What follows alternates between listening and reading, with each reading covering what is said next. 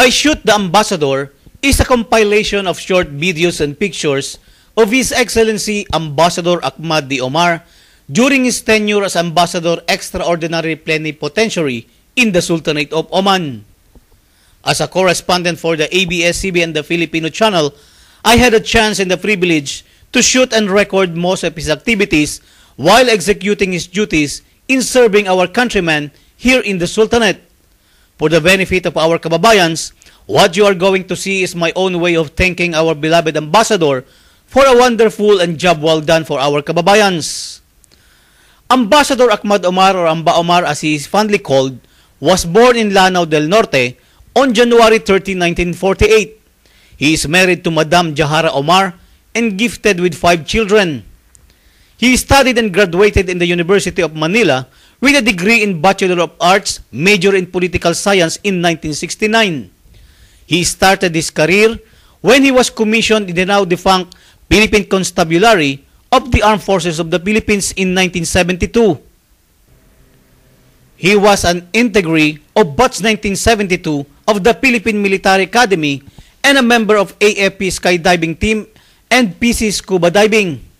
He first tested his military career when he was wounded in one of the operations in Holosulu in 1973. From then on, he earned his one wounded personnel medal followed by 15 military commendation medals.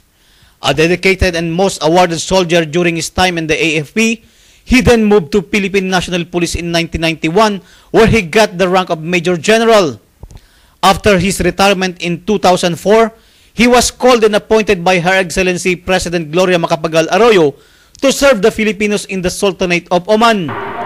His dedication and passion to serve our countrymen was tested when the Sultanate was hit by extreme weather condition in June 2007. He is the first Filipino government official who visited our kababayas in Kurum which was badly damaged by Cyclone Gonu. Kaya kahit maputik pa ito, personal na binisita ni Ambassador Ahmad Omar at Consul General Corsino si Sally.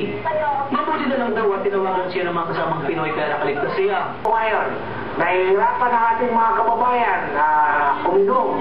Walang pangpanghugas. Kaya po, sa kagustuhan namin, ang imbahada ay nagbigay ng tubig sa ating mga kababayan na Pilipino. Lahat po na natitirang tubig dito, pinapadistribute po sa ating mga kababayan Pilipino na nangangailangan dito sa Sultanate of Oman. He is also the first government official who traveled all the way to Alboraimi to comfort and give assistance to the almost 2,000 Filipinos stranded in different hotels in Alboraimi border. Ang visa rito sa visit visa rito sa Oman, gagawin ko po ng paraan na mawig ang After solving problems in Alboraimi, His Excellency faced another bigger task as Somali pirates capitalized on hijacking ships in the Gulf of Aden. Most Filipino seamen who were victimized by Somali pirates felt secured when they met Amba Omar during the release because finally they will be home. Sila ang pito sa siyam na mga Pinoy ng cargo vessel na BBC Trinidad na na-hijack ng mga pirata sa karagatan ng Somalia noong Agosto 23. Dumating sa Muscat, Oman kahapon ng barko matapos silang pakawala ng mga kidnapper. Hindi lang ito ang first time na nangyari sa ating mga kababayang Pilipino. So kailangan magawa ito ng solusyon. 22 Filipino seamen stranded in Matra Port for almost one year found hope when their four years unpaid salaries were paid by their Taiwanese employer. Tanggapin ito sa kusang loob. Maraming maraming salamat po sa inyo. Ha? So lahat kayo mabibigyan, ha? Sabi sobrang sa mga Oo. Tapos, ah, ibigay ko na ito sa iyo, ibigay ko sa isa-isang mga kasama, ha? Yan. An spiritually inclined individual, Amba Omar has maintained a good communication with the Filipino parish priest, Father Raul Ramos, bridging the religious outlook of our citizens.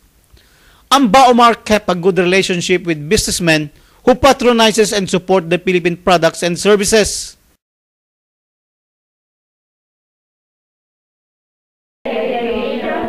Amba Omar, in cooperation with the Philippine Ladies Group, spearheaded the collection of relief goods for our kababayans who were badly hit by Typhoon Ondoy in the Philippines and supported the Valentine Project of the PLG to generate funds for the victims. He has maintained a good rapport with the different leaders of the diplomatic corps during his tenure. Amba Omar never stopped being an ambassador. Every day, he made sure that he is updated with all the things happening around him.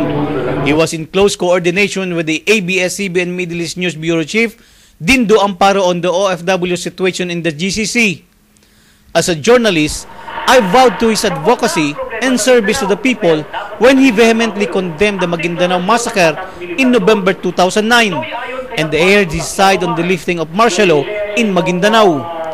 As he knows the real political situation in that southern part of the Philippines, he is indeed a man of principle.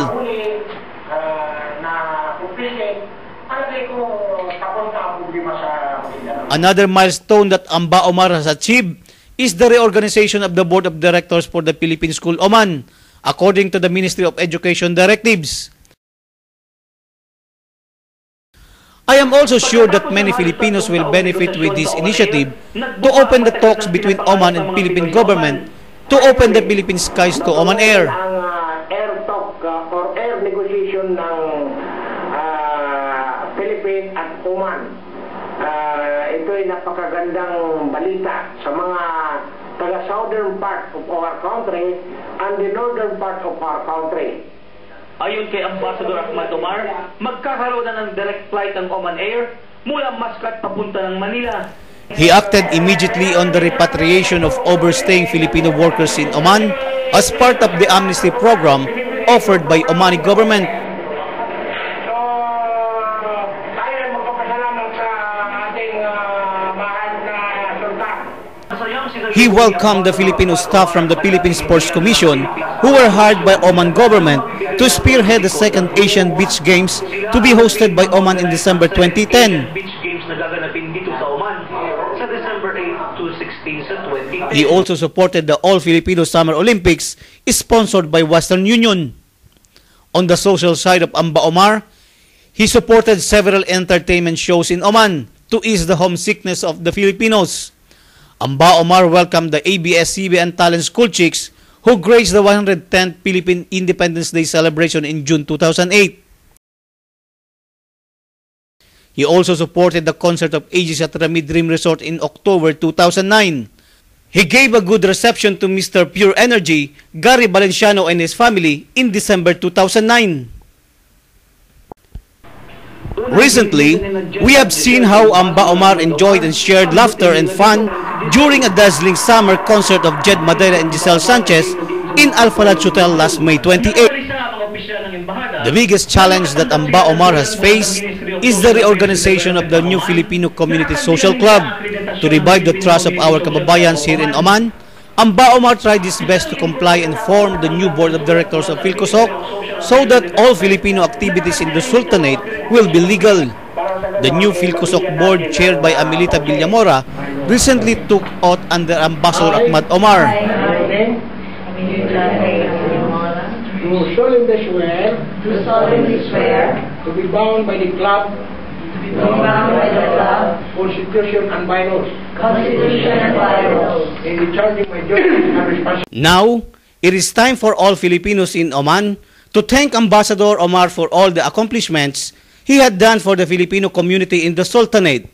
You have done a great job, sir. I salute you for the mission accomplished. May your tribe increase in the service of the Filipinos. Mabuhay po kayo, Ambassador Ahmad D. Omar. Masalama. Rowan Soldivilla, ABS-CBN Middle East News Bureau, Muscat, Oman.